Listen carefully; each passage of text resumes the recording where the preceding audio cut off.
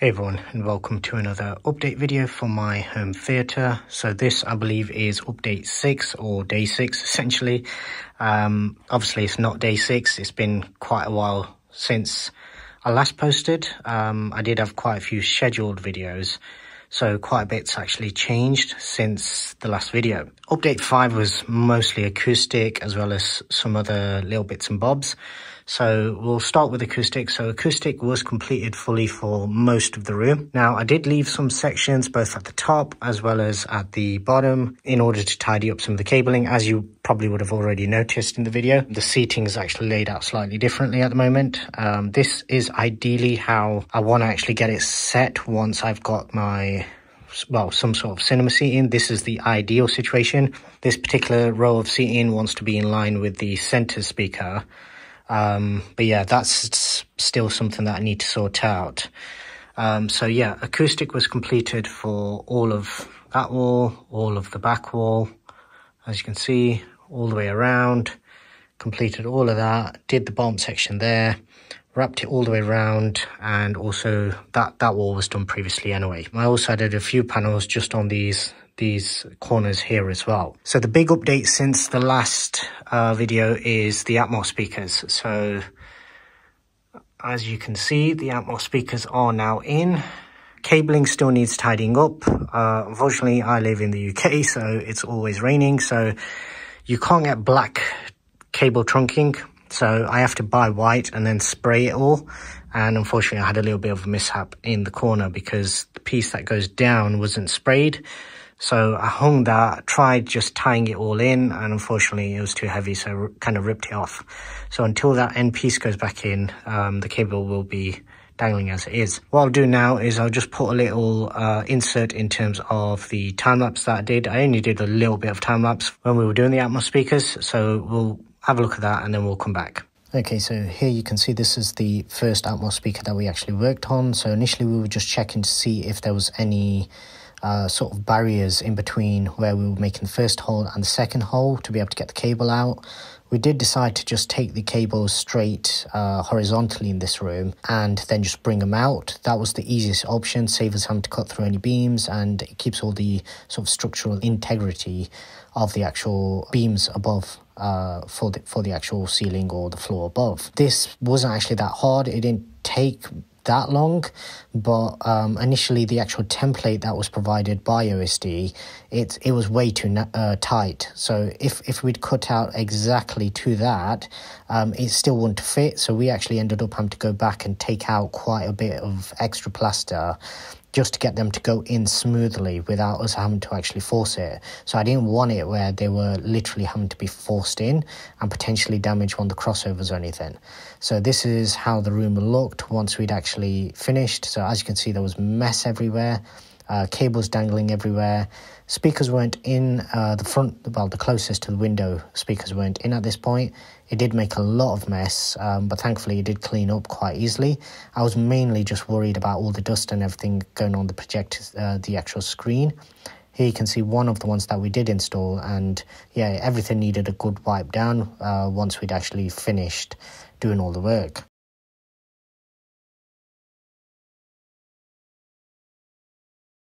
The Atmos speakers were installed. Now, originally, you would have seen from the videos that originally I actually wanted a single sort of cutout just in that corner there. And I wanted all the cabling to come down and then run and then the Marantz is going to end up in that corner eventually. Now, unfortunately, because all of my beams run this way, um, in order to do that, it would have been a lot of work. So the easiest option was basically wherever we had the cutout for the actual Atmos speakers, wherever we had some spacing. I've literally just gone along with that and taken the cables out from that side. And that, that way I can just run a single trunk in all the way along, all the way down and then across. Yeah, so as you can see, where the speakers line up, the cable comes out and it goes straight into trunking. That little corner piece just there, it wasn't worth trying to do two sections there. So that is a full three meter section, um, which is the length that the trunking comes in. So I'm just going to put a little bit of black sleeving on that, similar to what I have down here. So it will just hide the actual cable away. So that, that will be that section. And then on this section, it's the same thing. So it's literally just coming out. Um, the spray paint on the actual grills themselves isn't the best, so I have ordered some more matte black paint. This is a sort of plastic coat, uh, plasti dip type paint, um, and it just didn't want to stick very well. Um, so you can see on some of the edges, obviously I'm shining the light on it, which makes it a lot more obvious. Normally when you're in the room, you won't actually be able to notice it. So essentially what's happening is those, the, the cable for both of those runs that way, comes out, runs, and then joins with both of these. And then they end up there, and then they run across. They'll run down, and then we'll tie them all in, and then everything will end up here. Now, as you can see, there is a heck of a lot of excess cable um, that I probably would have had enough to have actually completed the Atmos speakers. Initially, when I actually installed them, we did the two back ones. So we did that one and that one because I actually ran out of cable. Um, had I actually done all of this at the time when I was installing it, I could have actually got this more accurate. Initially, I did leave excess because I wanted to make sure that no matter where, where in the room I placed the AVR, I had enough excess cable.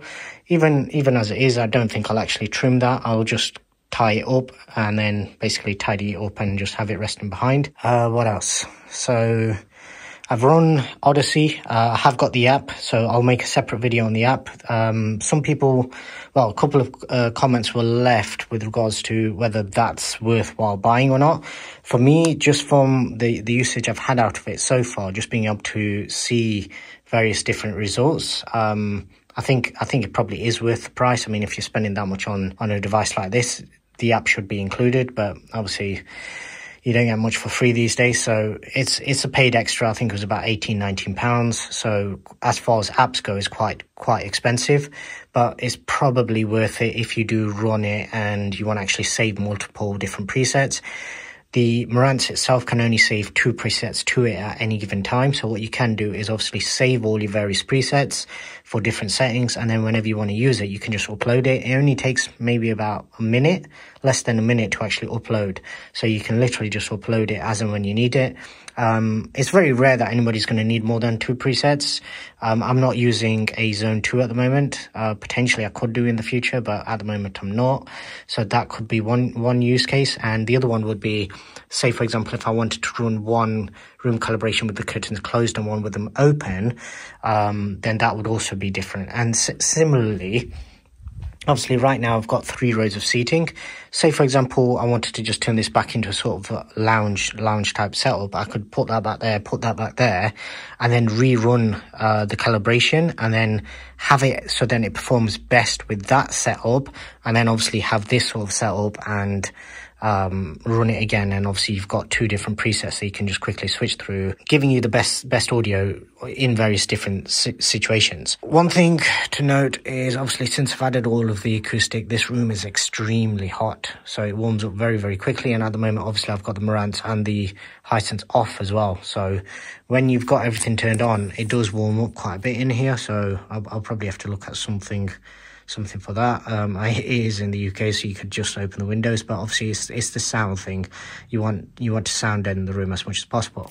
Now on the ceiling, I might actually be using some of the foam sort of ins, uh, not insulation, but sort of acoustic mats that you get, um, sort of pyramid shaped, and that's literally just to kind of dullen some some of the the shine that I'm getting off the the ceiling as well, because obviously with the acoustic panels on the walls, this it's it's a much it's much less reflection that you actually get. You'll be able to see how that's it's not really giving much of a shine, whereas when it shines off the actual paint itself, it is a lot more reflective even compared to the actual fibers on this.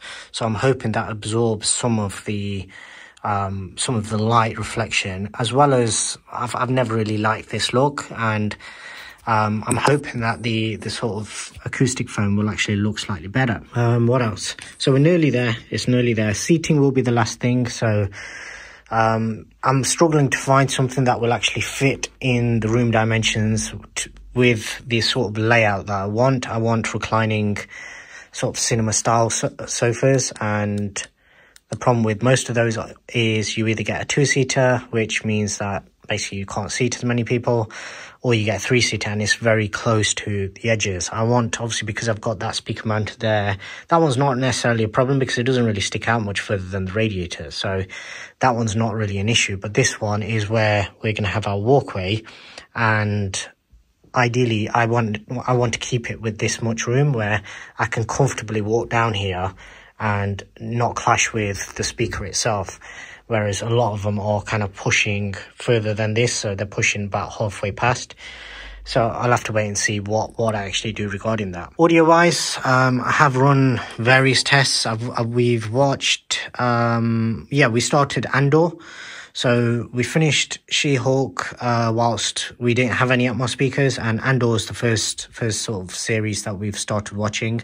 And even though I was kind of sat offset and we hadn't run uh, Audyssey or anything, nothing was sort of set up correctly at that time either.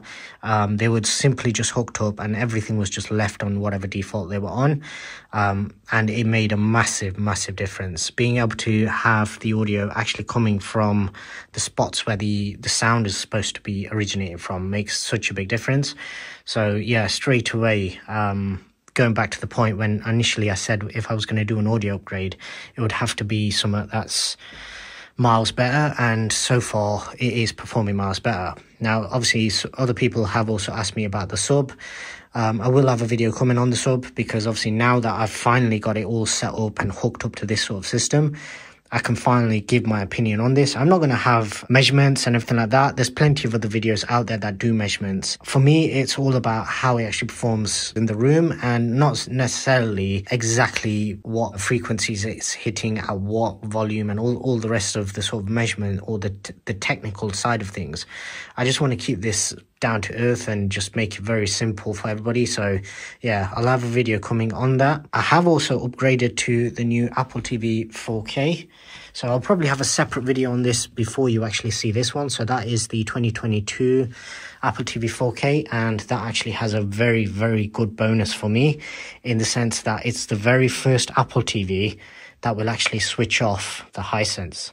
So previously, if I ever wanted to switch the system off, I would have to use external remote. So I would either have to use the Hisense remote, either use the app, or I would have to use a universal remote because you just couldn't, it, it wouldn't communicate correctly. The Apple TV 4K 2022 does actually switch off the Hisense. It switches off the whole system. So it's literally one button that you press. You do have to press and hold it, but it does turn off. And I've also kind of got used to the remote. Now, previous, um, I did do a review on this, the 2021 model last year, and I actually traded these remotes for the previous Siri remote with, with somebody that I knew because I actually preferred the trackpad and everything on the previous version. Initially, when I unboxed this, I didn't actually like it similarly again because I'm used to the trackpad. And I actually found I had one of these because I'd ordered it when I actually uh, ordered my 2021 uh, Apple TVs, and I had one of these lying about, so I thought I'll throw it on and see how it actually performs. And I think this is the the sort of skin cover is was the sort of missing. Uh, missing factor in terms of actually making it so then I do actually like using this remote because it separates the buttons from the actual trackpad area. That was the thing that was bugging me before because on the, the previous one, you had a large area. On this, you've literally just got this, this surface area here that it works as a trackpad. And by having this sort of ridge, what it does is it separates all your buttons so you can actually find stuff in the dark without having to look. It does take a little bit of muscle memory remembering not to, because some of these are in different order to the old Siri remote. However, the thing is, because I've been using the universal remote for so long, um, it means that that muscle memory's kind of gone away. So I can learn this now fresh and yeah, I'm very, very happy with the new one. It is definitely faster. Like I noticed that straight away. Um, even compared to the previous previous Apple TV, which was was never slow. And it was only the 2021 model that I actually had, so I'd, I'd already previously upgraded. So I will be getting rid of the 2021 model. Um, I've just put it in a spare room for now, just to have it hooked up. But yeah, um, that's where we're at at the moment. Um, cabling and everything, I'm hoping to get done by the end of this week. And then the, uh, once the trunking's done, then that unit will get moved across, the sub will get dropped onto its side, the Marantz will go over to that side, and then some of this will get reorganized as well. I was hoping to try and get rid of that middle shelf so then the Marantz can go there, but I'm a little bit worried about the heat at the moment. If we look at this angle here, you can see that it does encroach on the speakers themselves. So eventually I will change, either change the, the whole media console or get get rid of that shelf somehow and actually put it there. Um, the Aircom T10 for some reason was dead when it arrived, um, so I still need to sort that out. So last Friday was when we actually installed the Atmos speakers. So over the weekend, I've literally just been messing around, playing around with it, doing tests. All of the demos and everything that I run, they're just so so impressive. And now that I'm actually sat, um, not even perfectly because it's not perfectly in line.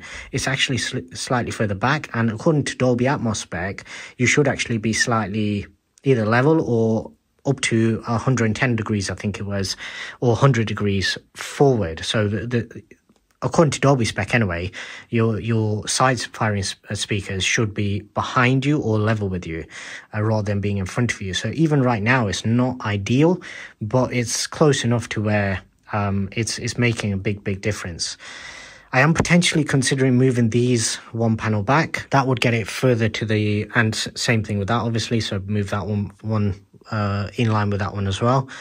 And that potentially could actually resolve quite a few issues because at the moment the problem I've got is if I want my main seating to be level in the center of the room, then I have to kind of sacrifice that seating. I do have the option of just leaving one row there and that can just get used whenever we have anybody else come down because normally there's only five of us so there will be enough seating for five of us but i want obviously my my seating position to be in the sweet spot where everything is tuned up and you're bang smack in the middle um, I would. I was also considering building a riser for this back back row because whatever happens, there will be seating here, whether it's this or something else.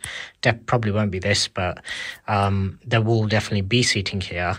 Um, but it's just with the door being right there. I do have the option of putting the door to open outwards, but even still, um, your riser is going to have to stick out a little bit further and obviously come out here. So I don't want nobody tripping over as they come into the room.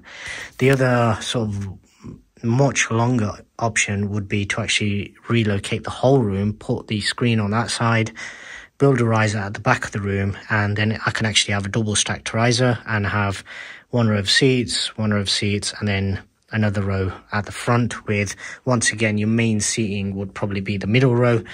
Um, just because of the height of the screen. Um, ideally, I don't really want to be doing that because that's quite a big, uh, quite a big job in terms of ripping everything out and also just relocating all the speakers as well. Because at the moment, I've I've got them as close to, if not perfect, in terms of Dolby Atmos spec.